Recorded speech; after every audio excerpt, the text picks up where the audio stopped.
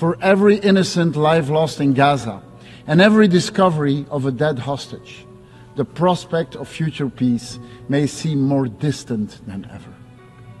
Today, Gaza lies in rubble. Over 15,000 people need prosthetics because of lost limbs. 10,000 of these victims are children. Where is human dignity in all of this? However, there is a way out. I'm convinced that it starts with the recognition of the right to exist of both Israel and Palestine based on the 1967 borders. We should all engage with Palestinian and Israeli leaders who recognize these rights and who oppose both anti Semitism and anti Palestinian feelings. Only then we can start articulating a viable pathway for a two state solution.